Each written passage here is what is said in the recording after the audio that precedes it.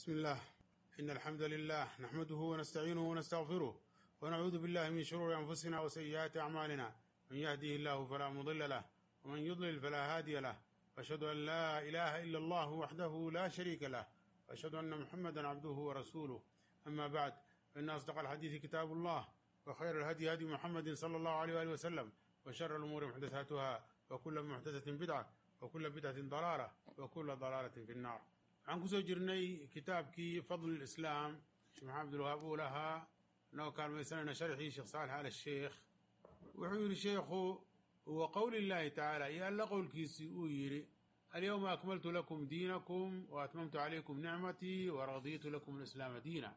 Maantan diinkiina idin dhammaystiray oo nicmadaydii dushiina ku dhammaystiray diinkiina islaamkiina aan inkaga raali noqday diin ahaan islaamkiina aan idinkaga raali noqday diin ahaan.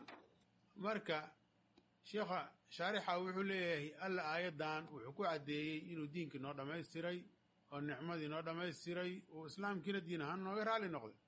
Diinka dhammaystirkiisu waa in diinkaanu uu yahay caqiida ahaan iyo shareeco ahaan iyo meelaha laga qaato oo kitaabkii sunnadii ah iyo waxa kitaabkii sunnadu ay ku tusaan dhammaan alla waa dhammaystiray wax lagu dari karo ma jiraan taasina waxay ka mid tahay fadliga islaamka wuxuu leeyahay diimihii kale wuxuu leeyahay ma dhammaystirnayn oo dadku waxay u baahnaan jireen waxyaabo kale markaas alla diinkan wuxuu ka dhigay mid dhammaystiran oo aan wax lagu dari karin ummadihii naga horreeyey bidcooyin bay ku dhaceen oo jaahilnimo darteed ay ugu dhaceen mararka qaarkoodna iyagoo garanaya cilmi ahaan ay ugu dhaceen laakiin islaamkii waxaa ku sugan iyo adiladiisi iyo kitaabkii sunnadii ah usuushii ku tusinaysa in diinkan uu dhammaystiran yahay sidoo kale ku tusinaysa in usuusha diinta iyo caqaa'idda maaragtay islaamku ay tahay mid cad. Sidaa darteed muslimiintii waxay noqdeen kuwo ka aamin ah inay xaqii ka lumaan. Sidii dadkii naga horreeyay ay uga lumeen xaqi iyadoo cilmi darra masalan u geynayso sababtoo ah cilmigii diinkan waa mid muuqda cilmigii loo lahaa.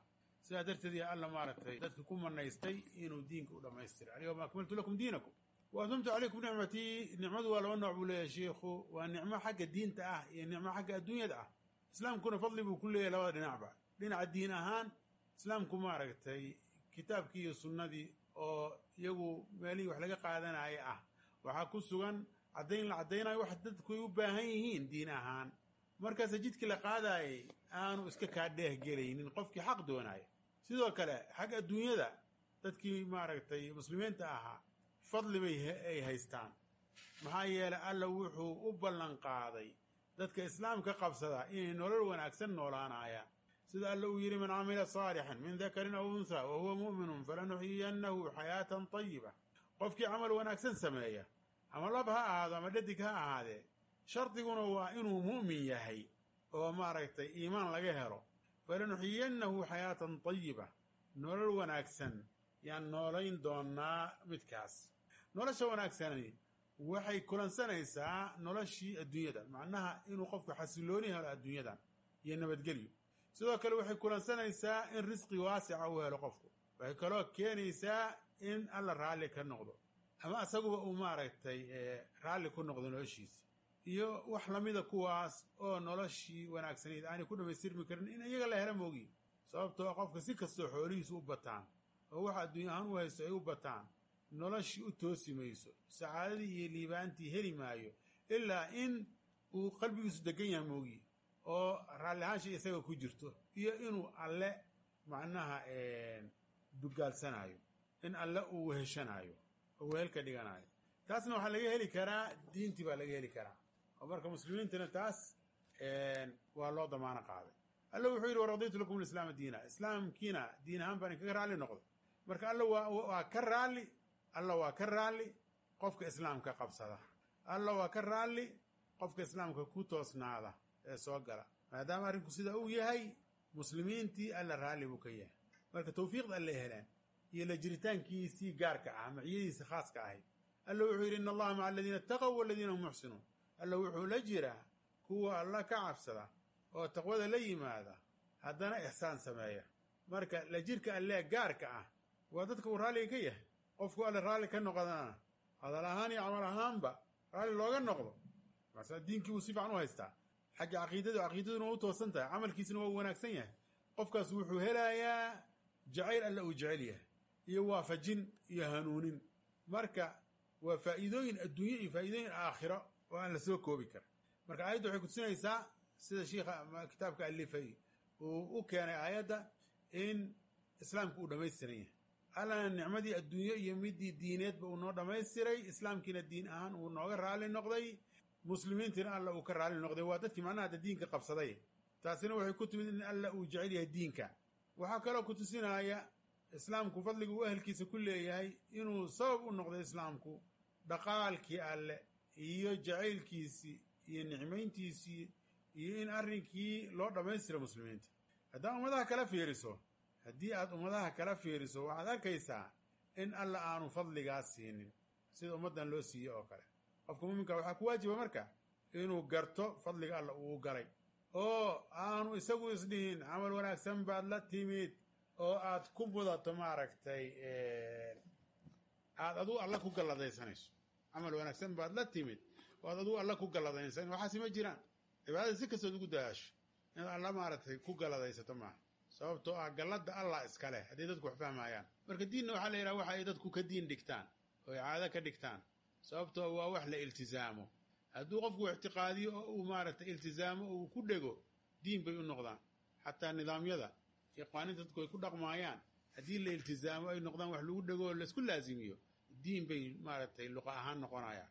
Sidii alla uu qisatu nabiyullahi yuusuf sheekadii nabiyullahi yuusuf uu ku sheegay maa kaana liyaakhuda akhaahu ma ahaanin mana u habboonayn ma ahaanin mid ku qaata walaalkiis diintii melika macnaha waa dhaqankii meligu uu haysan jiray.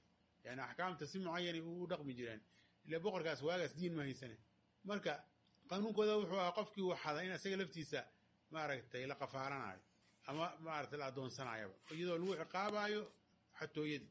Tii baa marka waxaa lagu magacaabay yani diin baa lagu magacaabay. Sababtoo waa wax la iltizaamay oo la laazimay yani isaga dhaqan ka dhigtay inuu dadkiisa saas u maamulo. Markaasaa alla maaragtay nabiyullaahi yuusuf makhraj uga helay yani halkaas oo uu maaragtay walaalkiis ku helay. Marka marka alla u leey raditu lakum alislaama diina waxaa laga fahmaya wax kastoo dadku iltizaamaan oo isku laazimiyaan oo xagga caqiidada ah ama shareecadii ah ama maarata dhaqankii ah ama dacwadii ah iyo dariiqadii dacwada loo gudanayo haddii ay yidhahdaan saas unbaa lagu soconaya qawaaniin mucayan ay ka samaystaan oo aan qur'aankii iyo sunnadii rasulka sal ly slam daliil looga haynin ama maaragtay a'imadii salafka iyo axkaamtoodii waxaa caddaanaysa waxaas waxaa la raalli noogaya inaanay ahayn diin ahaan. Sababtoo alla wuxuu diin ahaan nooga raalli noqday islaamkii keliya iyo qowlii tacala alla qowlkiisuu yidhi qul yaa ayuha annaasu in kuntum fii shakin min diinii falaa acbudu aladiina tacbuduuna min duuni illahi walaakin acbudu allaha aladii yatawafaakum waxaad ku tiraahdaa dadow haddiid aniga yani diinkayga shaki uga sugan tihiin anuu caabudi maayo kuwaad alla sokadii caabudaysaan idinku laakiin waxaan caabudayaa allaha idinku tasarufa adinka ee idin oofsada. Wuxuu leeyahay shiikhu marka munaasabada ay aayaddani ay maaragtay la leedahay baabka iyo waxay kutusinayso waa maxay in shiikha kitaabka alifay uu doonayo inuu caddeeyo in diinka islaamku uu fadli ku leeyahay dadka muslimiinta ah. Waa dadka maaragtay diinka aqoonta u yeeshay. Markaasi waxay ka badbaadeen waxay ka badbaadeen shahawaadkii iyo shubahaadkii waxay shaki keeni karayba ay ka badbaadeen. Haddii wax shaki keenaa ay yimaadaan qofka diinka iskaluhu waa uu ka badbaadaa inuu ma shakigu isaga ku dhaco. Marka aragti fog buu qofkaasi yeeshaa iyo basiiro dhammaystiran. Marka shubahaadku ay yimaadaan oo shakigu u yimaado. Sidaas darteeda marka alla wuxuu yiri qul ya ayuha annaasu in kuntum fii shakin min diini falaa acbudu aladiina tacbuduuna min duuni illah walakin acbudu allah aladii yatawafaakum haddii marka dadkii mushrikiinta ah iyo gaaladii iyo ahlu bidicii iyo dadkii dhunsanaa ay shukuug iyo shubahaad ay keenaan fadliga islaamku kulle dadkiisa waxaa ka mid a hadduu qofku wax garanaayo oo diintiina uu haysto in alla qalbigiisa nuur uu geliyo oo aanu ku saamoobin shubhooyinkaas iyo shakiyaalkaas. Waa kaa nabigeeni maaragtay sala alla alay slam ku yidhi in kuntum fii shakin min diini haddaad diinkayga shaki uga sugan tihiin macnaa waa islaamka iyo tawxiidkaan la yimid waay. Falaa acbudu ladina tacbuduuna min dun lah walakin acbudu allah aladii yatawafaakum marka kelimatu tawxiid yuu u caddeeya dadki marka diinkayga shaki kuma jiro adinkaa mudan inaad shakisaan anugu rabbi keli baan caabudaaya asagaa idin oofsanaaya asagaa idin anfacaaya asagaa idin dhibaaya asagaa ruuxdiina qaadaaya. Marka waqtigiinu dhammaado anugu waxaad caabudaysaan marka idinla caabudi maayo. Sababtoo nacfi iyo duri waxba gacan kuma hayaan. Marka yaa shaki marka mudan in laga shakiyo wuxuu haysto. Ma midka caabudaya waxaan wax maqlayn waxna arkaynin ma midka caabudaya waxa dhintay. Ma midka caabudaya alla sukadiisa. Buudaad aan waxba u hananin. Mase midka caabudaya allihii wax maqlaayay ee wax arkaayay ee durkay nacfiga isagu hayay. Jawaabtu waa maxay? Idinkaa marka shaki ku xaq leh. Marka taasina waa fadligii alla addoonkiisa u galay markuu islaamka si fiican u fahmay oo ictiqaad saxa uu aaminay in shakiba aanu soo gelayn. Hadba cilmigiisu inta xooggiisa uu dhan yahay oo qalbigiisa ku jira yani cilmiga qalbigiisa ku jira hadba inta xooggiisa uu dhan yahay yuu shakiga ka fogaanaya. Sababtoo xooggaas ku jirayaa shakigii iska ceyrinaya oo qofku diinkiisu waa u hubaa. Xoog buu ku leeyahay. Si kastoo dadka shakiga dadka geliyaahay ay u dadaalaan isagu maaragtay dheg jalaq u siin maayo ee isagaaba xujadii ku ogaaya oo ka adkaanaya hadduu qofku marka akhbaartii shareecadu ay sheegto kitaabkii sunnadu lagu sheegay uu rumaynaayo amarkii iyo maarata nahyigiina uu hogaansamaayo fadliga alla uu u galay wuxuu noqonayaa in islaamku qofku uu ku sugnaado oo shubhaya shakiba uu ka fogoodo qalbigiisu ka fogaado. Ilaahay amarkiisa dadka caamada qaarkood cilmigoodu haba yaraado laakiin ictiqaad xoog leey haystaan. Wax shakiyu kuma jiro. Dadka qaarkood yidhahda maarata aqoon-yahan aan nahay iyo ayaad arkaysaa marka qaarkood iyagoo shakinaya sababto shubahaadkii gaalada qalbigooda ka buuxsamay oo aad bay gaalada u dhegaystaan ay u raacraacaan. Marka qofka muslimka hadduu diinta islaamka barto oo adiladeedii u yaqaano oo cilmiga caqiidada u yaqaano oo tawxiidka u caddaado oo wax walbaba yaqiin uga sugnaado alla waa uu ka badbaadiyaa shubahaadka iyo shakiga. Waxyaabaha lagu lumo waxaa maarata ugu weyn oo ka mid a waxyaabaha ugu waaweyn in qofka ay shubha ku soo aroorto kadibna aanu haysanin wuxuu shubhadaa isaga celin lahaa. Laakiin markastoo iimaanka qofku uu xoogaysto markastoo islaamkiisa iyo cilmigiisa ay xoogoobaan oo shareecadii aada uga warqabay caqiidadii qofku wuxuu noqonayaa qof islaamkiisii ku dheganaada oo maaratay isagii sharaf yani inuu ku leeyahay ictiqaadiya oo aan sharafti meel kale ka raadin. Marka dadka islaamka ku sifa fiican ugu sugan qalbigooda nuur baa alla geliyaa oo alla waa uu kaalmeeyaa marka shubahaadku yimaadaan. Iyo wa qowlihi tacala alla qowlkiisa uu yidhi yaa ayuha aladiina aamanu itaquu llaha waaaaminuu birasuulihi yu'tikum kiflayni min raxmatihi wayajcal lakum nuuran tamshuuna bihi wayakfir lakum. Wallahu gafuuru raxiim mu'miniinay alla ka cabsada oo rasuulkiisana rumeeya. Laba nasiib hala idin siiye oo waaweyn oo naxariistiisii ah. Wayajcal lakum hana idin yeelee nuuran nuur tamshuuna bihi aad ku socotaan. Waa yaqiin iyo basiiro. Marka qofku hadduu diinta si fiican ugu toosnaado oo naftiisi la jihaado oo taqwo laga helo ou rasuulkiisi rasuulka alla rumaysan yahay alla wuxuu siiyaa cilmi. Markaasuu dadka ahlucilmiga ahaa jeclaada oo hadalkooda dhagaystaa markaasaa maarata ilahay nuur siiyaa uu ku socdo. Marka labada nasiib ee waaweyn la siinaya maxay yihiin? Ajar baa la siiyaa. Ajarkii baa loo laba laablaabaa. Iyo naxariistii ay adduunyadani ku taagnayd. Marka naxariistii adduunyada naxariista adduunyada iyo naxariista aakhiradu qofkaasu helaa. Oo aakhiro la baadbaadi maayo haddaan naxariista alla la helinin. Marka taasi waxay kutusinaysaa in alla uu fadli iyo fadli dheeraada siiyey dadka muslimiinta ah. Naxariis adduunya iyo naxariis aakhiraba ay helayaan marka dadka muslimiinta haddii islaamka laga helo oo taqwo laga helo oo rasuulka alla rumeeyaan alla wuxuu ku galladaystaa inuu labadaas maaragtay nasiibo naxariista uu siiyo. Oo mid adduunya mid aakhiraba ah. Ajir bay helayaan iyo maaragtay addunya naxariis aakhiraba nuurna waa helayaan.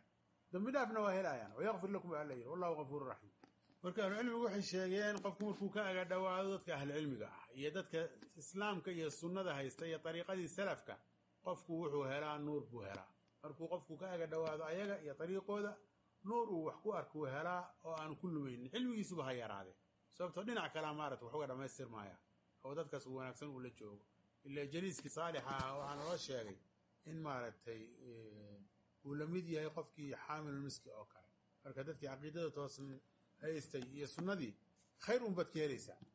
Yani faa'idalaan ma dhacaysid ummaddan alle markuu ka hadlaayay wuxuu yidhi kuntum khayra ummatin ukhrijat linnaasi ta'muruuna bilmacruufi wa tanhauna cani ilmunkar waxaad noqoteen idinku ummadku ugu khayrka badnaa ee dad loo soo saaro. Macruufkii waa dadka fartaan munkarkiina waa ka reebtaan.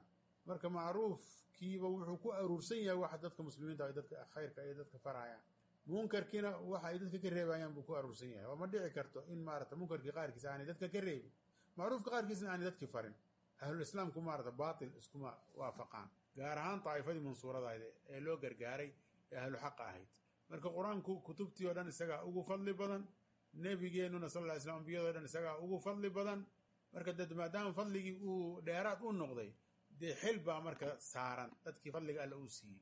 Oo hadda qofkii caalimka ahaa yani xisaabta sugaysaay la mid maaha qofkaan caalimka ahayn qofkii yidhaahda marka anuu sunnadii iyo tawxiidkii baan maaragtay dadki ugu yeeraya yani xil gaaraba fuulaaya waa inuu si fiican ugu dheganaadaa waa inuu iska ilaaliyaa inuu islaamkii iyo sunnadii u tiiriyo waxaan ka mid ahayn ille asaga wax saarani waa maxay waa ariiqii alla tilmaamay rasuulkii sal slam allana uu tilmaamay inuu sheego un baa loo baahanya wax kale ma saarna inuu wax kale jeebkiisa kala yimaado maaha marka wax la iska sheeganaayo ma ahan. Waa in maarata wax walba ay adiladii ay ku dhisan yihiin. Wa fi saxiixi buu leeyahay shiikhu yani bukhaarigi buu maaragtay ku jiraa buu leeyahay hadda wuxuu ka wadaa saxiix bukhaari buu ka wadaa ahlucilmigu mararka qaarkood saxiix waxay ka wadaan ama bukhaari ka wadaan ama muslim bay ka wadaan laakiin hadda bukhaari buu hadda ula jeedaa mathalukum wa mathalu ahli kitaabayni ka mathali rajulin ista'jara ujraa adinka iyo ahlu kitaabki idinka horreeyey adinka waa yahuud iyo nasaara laga wadaa moogta tilmaantiinu waxay tahay oo laydinku mahmaahi karaa ka mathali rajulin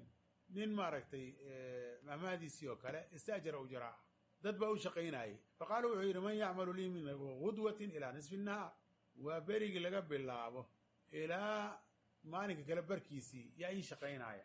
Calaa qiraatin. Oo maaragtay aan siiyaa ujradaas. Qiraad aan siiyaa. Qiraadka marka waxaa lagu fasiray inuu yahay diinaarka marka la qaybiyo qayb ka mid ah. Yacni toban marka loo qaybiyo qaybta toban marka loo qaybiyo oo haddana qaybtaas tobanaad nuskeed waa. Siyaabo kala duwan bay marka qiraadka ay ku fasiraan qaar baa yidhaahda waa sudus dirham. Yani dirhamkii oo lix loo qaybiyey qeybtiis ama diinaarkii marka toban loo qaybiyo tobanka nuskeed. Waa maxay? Waa nus diinaar marka. Yani wallahu aclam facamilat yahuudu facamilat yahuud yahuudi way shaqaysay. Ile iyaga ugu horreeyey mogta uma qaaluu wuxuu yidhi man yacmalu lii min nisfi nahaari ilaa salaati alcasri calaa qiraatin. Yaa ii shaqaynaaya maalinka kale barkiisa laga bilaabo ilaa salaadda casr laga gaaro oo qiraad aan siiyaa facamilat nasaara nasaaraa shaqaysa iyaduna uma qaaluu wuxuu yidhi man yacmalu lii min alcasri ilaa an taqiiba ashamsu calaa qiraatayni yaa ii shaqaynaya wakhtiga casrika laga bilaabo ilaa qoraxdu ka dhacdo oo laba qiraad siiyaa kuwa hore hadda qiraad qiraad baa la siinaya ogu fa antum hum kuwa labada qiraad helaya waa adinka buu yidhi rasulka sal slam faqadibat alyahuudu wanasaara yahuud nasaara xanaaqeen marka wa qaaluu waxay yidhahdeen maa lanaa akharu camalan wa aqalu ajran oo maxaa lahaanteenna ahoo camalkeennuna u badan yahay ujrada aan helaynaana u yar tahay. Qaala wuxuu yidhi marka alle hal naqastukum min xaqikum shay-a? Wixii aad xaqa u lahaydeen oo laydinkula heshiiyey miyaan wax idinka jaray oo idinka nuqsaamiyey? Qaaluu laa mayay yidhahdeen qaala dalika fadlii uutiihi man yashaa. Dalika fadlii uutiihi man ashaa. Kaasi waa fadligayga iyo dhaqaalkaygo aan siiyo qofkii aan doono marka ummaddani kale waa ka dambaysay wax yarna way shaqeeyeen laakiin ajir fara badan baa alla uu siiyey oo laba qiraad bay heleen xagga ajirka. Kuwii naga horeeyeen qiraad qiraad bay helaayeen marka waa fadli alla uu gala ummaddan. Fadliga kale nusuusta ku soo arooray oo hadda maalan uusan shiikhu kitaabka ku sheegin waxaa ka mid a in ummadda haysata wixii rasuulka sal slm uu ku sugnaa aanay baadi ku kulmin. Alla wuxuu yidhi waman yushaaqiq irasuula qofkii rasuulka sal slam dhinac mara min bacdi ma tabayana lahu lhudaa markii hanuunku u caddaaday kadib oo yatabic hayra sabiili lmu'miniina mu'miniinta jidkooda waxaan ahayn raaca. Nuwallihi maa tawallaa. Wixii uu ka weli dhigtay baan uga weli yeelnaa oon la xiriirinaa wa nuslihi jahannama jahannamana waan gelinaa. Wa saa'at masiira. Meel loo ahaadana jahannama ugu xun. Marka sabiilulmuminiin marka muxuu yahay? Waa ummadda aan kala tegin waay oo diinkeeda aan ku kala tegin. Laakiin kuwa diinkooda ku kala tegey oo ahlu bidca noqday laguma tiriyo ijmaaca marka laga hadlaayo. Oo rasulka sal wuxuu yidhi ina ummatii laa tajtamicu calaa dalaala ummaddaydu baadi kuma kulanta buu yidhi. Marka qofka muslimka ahi baadida waa uu iska ilaalin karaa haddii uu ku dheganaado wixii ummaddu ku ijmaacsanayd. Qofkii xagga caqiidada qabsada wixii ummaddu ku ijmaacsanayd. Oo ka fogaada ahlubidac warkooda ila ahlubidacu gadaali ka yimaadeen moogta. Wixii ummaddu ku ijmaacsanaan jirtay waxaan ahayn bay la yimaadeen. Qofkaas waa u badbaadaa. Marka qofkii waxaa u sahlaanaysa inuu jidkii saxda ahaa qaado hadduu maaragtay salafki uu ku daydo. Qofku marka hadduu doono dariiqii xaqa ahaa wuxuu raadinayaa dadkii xaqa ku taagnaa oo jamaacadu waxay ku sugnayd buu raadinayaa intaan dhibku maaragtay imaanin. Sababtoo ah saxaabadii iyo taabiciintii taabici taabiciinkii bacdi kuma kulansanayn xaq iyo hanuun bay ku kulansanaayeen marka kaas buu qofkuu ku badbaadaya haddii uu ku daydo. Wa fiihi aydan waxaa kaloo saxiixi ku jiray. Macnaha muslim baa wariyey lafdigan hadda shiikhu u keenay. Bukhaarina maaragtay si wax shabaha uu keenay u wariyey. Yani lafdi shabahayuu bukhaarina wariyey can abi hurayrata radi alla anhu qaala wuxuu yihi qaala rasul lah sal sl rsulka alle wuxuu yidhi adala allahu can iljumcati man kana qablana jumcadii waxaa laga lumiyey oo la waafajin waayey dadkii annaga naga horreeyey fakana alyahuudu yowmu sabti yahuuddu waxay lahaayeen maalinta sabtida ah walinasaara yowmu laxadi nasaaridina waxay samaysteen maalinkii axadda fajaءa allahu bina alla anaguna keenay fahadaana liyowmi ljumcati jumcadii baa alla nagu hanuuniyey wakadalika hum tabacun lana iyagu marka annagayna raacsan yihiin waa naga dambeeyaan yowma alqiyaamati maalinka qiyaamaha naxnu alaakhiruuna min ahli dunya xagga adduunyada waan dambaynaa oo annagaa ka dambaynay walawaluuna waana horaynaa yowma alqiyaamati qiyaama marka la gaaro macnaa ummadihii naga horreeyey waxaa lagu imtixaanay maalinay ciid ka dhigtaan maalin baa la faray marka waa ka indhabeeleen yahuuddii way kulmeen waxay ku kulmeen inay ka dhigtaan maalinka sabtiga ah waana ku gefeen nasaaridina maalin baa la faray ay ciid ka dhigtaan markaasay waxay ka dhigteen axaddi waa ku gefeen ayaguna labadii marka ummadooda naga horreysay waa ay ku qaldameen. Waxa alla waafajiyey dadkii muslimiinta ahaa waana maalinkii jumcaha marka ummadihii naga horreeyey qalad waa ku kulmi karaan. Laakiin innaga ummadeennu qalad iskuma raaci karto. Fadligii marka waxaa dib loogu dhigay dadkii muslimiinta ahaa marka annaga jumcadii waa naloo jideeyey. Ee waxaan dooranay maba ahaba. Waa fadli alla xaggiisa ka yimid. Marka hanuunku waa inuu qofku dalbaa. Ihdina asiraata almustaqiim marka aad maaragtay leedahay ragcad walba ragcad walba marka ad leedahay ihdina asiraata almustaqiim hanuun baad alla weydiisanaysaa. In macnaha si kala dhigdhigan dariiqii lagugu caddeeyo xagga cilmigii iyo camalkiiba ictiqaadkii iyo rumayntii yaad u baahan tahay. Yacni saacadda kugu soo socota inaad hanuun heshaad u baahan tahay. Maalinka beriya inaad hanuun heshaad u baahan tahay. In xaqi lagu waafajiyaad u baahan tahay. Marka ayaanu qofku u malaynin marka uu leeyahy ihdina siraata almustaqiima allow nagu sug. Waan iska hanuunsannahay waxba nagama maqnee. Saas maa arrintu. Daqiiqad walbaad u baahan tahay in wix alla jeclaa lagu fahamsiiyo laguna waafajiyo inaad ku camal fasho. In lagu fahamsiiyo laguna waafajiyo inaad ku camal fasho. Marka aakhire markale tago ummaddani iyadaa ummadaha kale ka horraysa xagga xisaabta. Oo raaxaysiga laga raaxaysanayo maalinkaas dhibkiisa iyo taagnaantii badnayd ummaddan ba alla ku gaar yeela iyaga ugu horreeya. Oo siraadka iyaga ugu hormaraaya sababtoo ah nebigoodii baa maaragtay ambiyada kale ka horreeya xagga fadliga. Jannada wax gala rasuulkeenna sal ly slam ugu horreeya. Ummaddiisuna waa ay ku daba xigtaa marka sida raajixa waa maxay? Maalinka jumcuhu uu yahay maalinka ugu horreeya maalmaha usbuuca. Sabtigii baa ku xiga axaddi baa ku sii xigta. Sababta ummadihii waxaa la sheegay. In annaga naga dambeeyaan maalinka qiyaamaha marka maalinka jumcuhu waa maalin ciid. Wa fiihi tacliiqan. Yani saxiix waxaa ku jiray macnaha bukhaarigi buu ka wadaa tacliiqan isagaa tacliiq wax ku wariya bukhaari. Oo macnaha mararka qaarkood sannadkii buu goynayaa. Can inabiy sal slm laga wariyay annahu qaala inuu yihi axabu diini axabu diini ila allahi alxaniifiyatu samxa diin midka loogu kalgacayl badan yaha alla agtiisa waa tii xaniifiyada ahayd ee tawxiidka ku dhisnayd ee haddana sahlanaanta ku dhisnayd shaarix marka wuxuu leeyay lafdigaasi yani rasuulka waa uu ka sugnaada buu leeyahy lafdiga fishurkan wuxuu yihi rasuulka allah waxaa la weydiiyey rasuulka allah waxaa la weydiiyey sal slam ayu adyaani axabu ila allah diin maxaa alla agtiisa loogu jacayl badan yahay qaala alxaniifiyatu samxa waa tii macnaha tawxiidka ku dhisnayd oo shirkiga ka fogaatay oo sunnadii waafaqsan haddana sahlan oo aasaar iyo aqlaal aan lahayn wax addoommada lagu adkeeyey aan ahayn. Marka xaggii caqiidadana wixii baadi ahaa iyo bidco yaad ka yeelanaysaa. Saasaad marka xaniif ku noqonaysaa. Xaggii shahawaadkii iyo macaasidina waxaad maaragtay ka yeelanaysaa xumaantii o dhan baad ka yeelanaysaa oo toosnaantii baad qaadaysaa. Assamxatuna waa maxay? Waa tii sahlanayd waa. Marka dadkii hore waa lagu adkeeyey cibaadadii iyo tahaaradii iyo meelaan masjid ahayn kuma dukan kartiin baa la yidhi marada haddii maaragtay najaaso kaa gaarto dhaqidu kuma filla waa inaad goysaa. Dhibaatooyin badan baa haysta. Ummaddan marka waa loo sahla diinta. Cibaadaadkina waa loo sahla laakiin sahlanaantaas la sheegayahay waa mid sharciga ku dhisan. Maaha inuu qofku jeefkiisa intuu wax kala yimaado uu khilaafo axkaamtii islaamka. Marka shareecadu waxay ku dhisan tahay sahlanaan bay ku dhisan tahay. Xaggii tahaarada axkaamtii biyaha weelasha salaadii zakadii soonkii xajkii mucaamalaadka o dhan fudud bay ku dhisantahy oo rasuulka sal ly slam wax lama khiyaar gelin lama dooran siinin ilaa midka fudud buu dooran jiray rasulka sal slam haddaanay dembi ahayn. Xadiidka bukhaari iyo muslim baa wariyey. Laakiin xurmada alle marka la jebiyo waa uu xanaaqi jiray rasulka sal slam waana aarsan jiray. Marka xagga caqiidada diintani waa ay sahlan tahay. Tacqiidkii ahlulkalaamka iyo ma laha iyo wixii caqligooda ayagu ka dhoodhoobeen. Xaggii axkaamtana sidoo kale waa ay maaragtay sahlan tahay shareecadan waan ubay ibni kacbin ubay ibni kacbi waxaa laga wariyey radia allahu canhu qaala inuu yidhi calaykum bisabiili wasunna calaykum bisabiili wasunna jidkii rasuulka sal slam iyo jidkii saxaabadiisa ku taagnaada buu yidhi laazima iyo sunnadii. Fa inahu laysa min cabdin addoon ma jiro calaa sabiilin wa sunnatin jidkii toosnaa ku taagan iyo sunnadii. Dakara allaha tacaala alla xusay oo fafaadat caynaahu indhihiisi biyo ka daateen oo ooyey macnaha min khashyati illaahi cabsida alla darteed la ooyey oo fatamasahu naaru abadan oo naari taabanayso. Ma jiro. Walaysa min cabdin addoonna ma jiro. Calaa sabiilin wa sunnatin jidkii wanaagsanaa ku taagan iyo sunnadii.